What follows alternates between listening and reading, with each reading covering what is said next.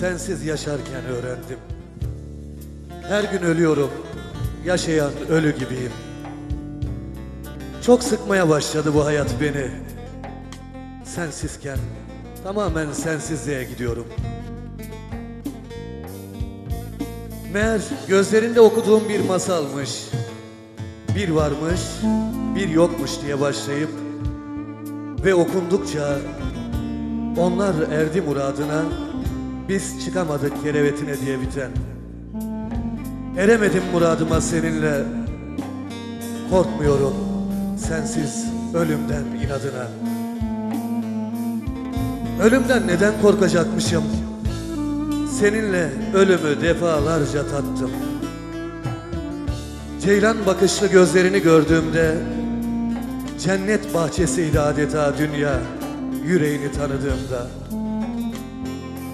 Her sokak başında senli düşlerim önümü kesti. Seninle tanışmam her şey bir anda oldu. Tıpkı bir anda kaybettiğim gibi. Korkmuyorum. Evet korkmuyorum. Aşkı da, ölümü de ilk gözlerimde tattım. Kaybedeceğim bir şey de yok artık. Seninle hayatımı kaybettim. Kaybedecek ne bıraktın geride? Ne gururum kaldı ne de onurum.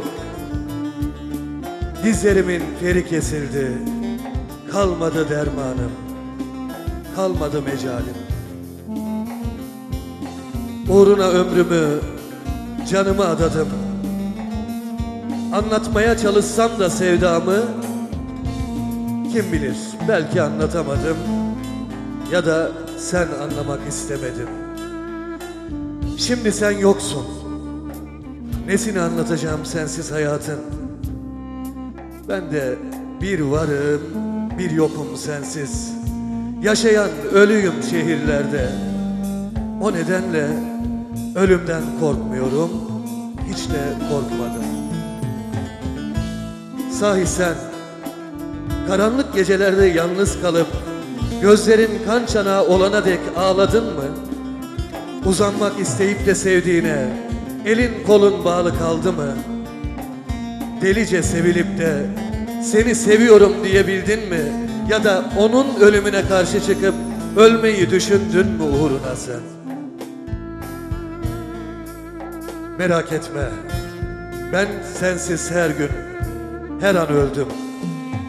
Ruhum da bedenimden çoktan çıkmış. Ben de değil ki. Yaklaşıyorum.